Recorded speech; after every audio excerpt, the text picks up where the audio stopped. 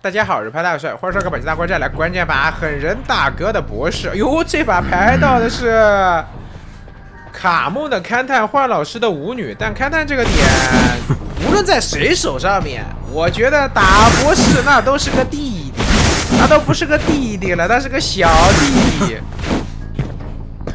这边看到舞女，找到勘探员，呃，基本上就可以直接带走的。这边的佣兵的话，这里一个跳。这一波没打到，有点可惜啊。跳过来，好的，漂亮。这边的话，八音盒全踩了，我觉得可以踩掉。因为博士其实还蛮烦这些八音盒的，就你不把它踩掉呢，后续他在舞女手上面或多或少。那现在反正这边就能踩嘛，就把它踩踩掉了。带的是个失场，这把打失场吗？我觉得插眼会不会好一点啊？失常其实它的一个嗯可用性没有插眼范围广，就插眼其实它比较百搭嘛，什么局势都能用。失常的话呢，相对来讲比较吃局势。这里的话冲，再冲，有有又是这个口子。我刚还想说一句话，在嘴巴边没说出来，就是。他这一刀是没有跳的，他这一刀刚五十点能量，所以佣兵这边翻进去，他这刀没跳，他还得再找机会。那这一波舒服了呀，击倒，然后过来看看能不能踹台机子什么的。舞女现在已经是个白板了，勘探员这边机子也点掉，就现在点掉两台机子，那这个市场还用不出来，那市场还用不出来。现在这个市场还等于说是挂在那边干放着的。这如果是个插眼就要好很多了，对吧？刚刚佣兵那边倒地也下一个眼，然后这边马姬这边可以下个眼。这里的话，病患是断触了一波吗？突然停住了，因为这个地方停住是不太能理解的，所以我感觉应该是断触或者卡了怎么怎样。嗯，狠人哥现在局势上面来讲，应该是占据一定的小优，但也没有多大吧。可能就六点五，不五点五对四点五那种。说真有优势，我觉得也没有特别多的优势，因为他毕竟这个失常带的作用到现在还没发挥出来，等于这个技能就是白带的。对，这个技能就是白带的。用这话两个护臂，这两个护臂估计要开始交了，不交啊？等你，等你，哎，你跳护臂，我这边跟冲刺；你不跳护臂，我跟普通刀。他说实话，这把博士要赢，他得切传送了，我觉得。这边他还是这个市场，舞女这边的机子踹了，其实意义我觉得也不是特别大。至少市场踹完以后，你抓舞女节奏一般吧，他最好是传送落地秒人，我觉得会更好一点。这里的话，舞女应该是有机会能打一刀了。一个飞轮出板绕过来，中刀给你一刀，好的。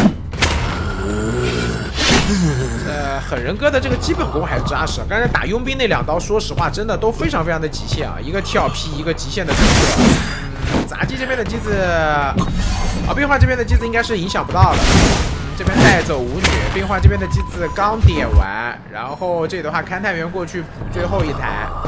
佣兵这边的话，没有人摸吗？这个佣兵？刚才那那佣兵没有人摸，意味着什么呢？意味着这个佣兵是有自起的，就是刚才佣兵是被舞女摸起来的，所以说才会没人摸。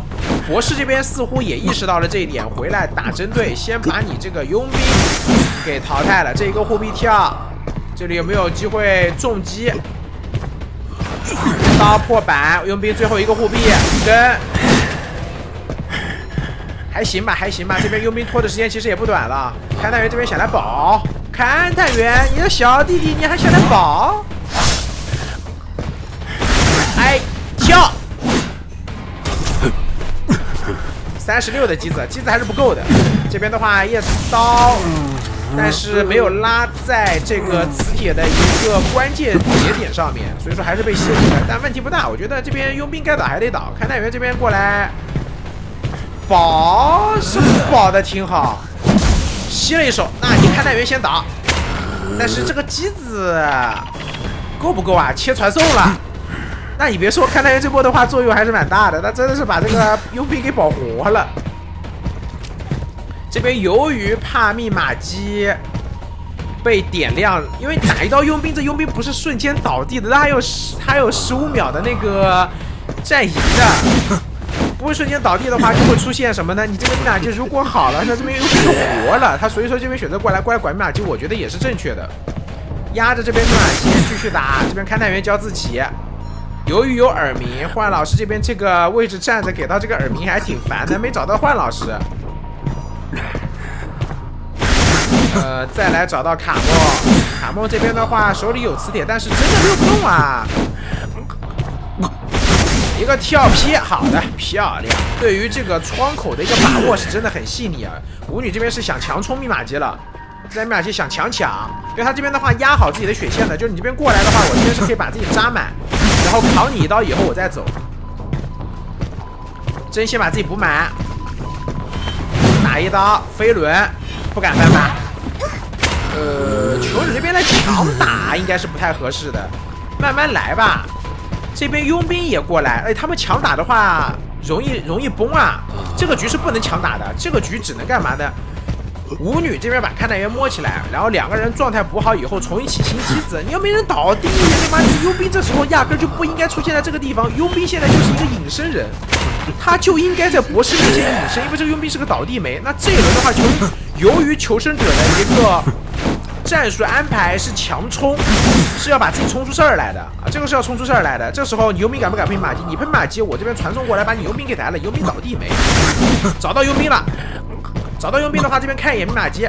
其实他围绕着这密码机打就可以了，因为现在求者街只剩华山一条路就强冲了。强冲，我守就可以。这个飞轮教的还是蛮不错的啊！回身过来，手里面的话现在冲刺不够。他如果手里面有三个冲刺，我觉得这边可能就冲这个佣兵了。啊，有三个冲刺可能就冲佣兵。这边其实可以等一等啊，再拉扯一波，慢慢拉扯。对，那你手里有传送的吗？不着急的。这一刀打的有点着急。一冲，这边佣兵要忍住啊，这不能忍不住啊！这一波你过来。好，反绕可以找到机会，一刀打中，nice。佣兵倒地没？这边病患也是个倒地没，求生者应该是没了。嗯，蛮可惜的，因为这局的话，确实是没想到卡莫的勘探员能这么顶，这都把这个局势给盘活了，把佣兵给保下来。本来这佣兵老早已经没了的。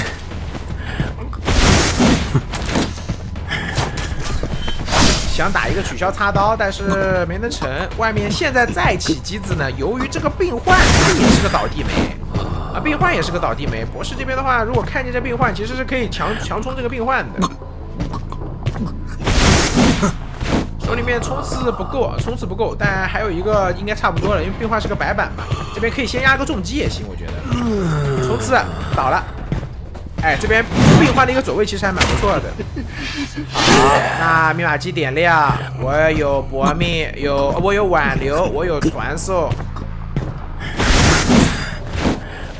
哎，这这这这什么情况？